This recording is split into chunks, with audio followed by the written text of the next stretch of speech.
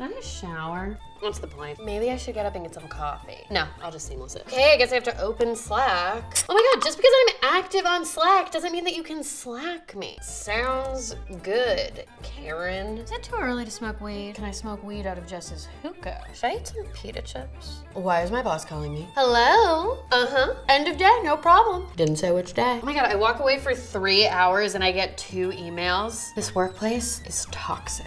Capitalism. Is there a new Real Housewives episode? I'll just watch one episode, then I'll get right back to work. You know what? I can work and watch one more episode at the same time. Maybe I should go get some pretzels. Ooh, and a seltzer so I can be fancy.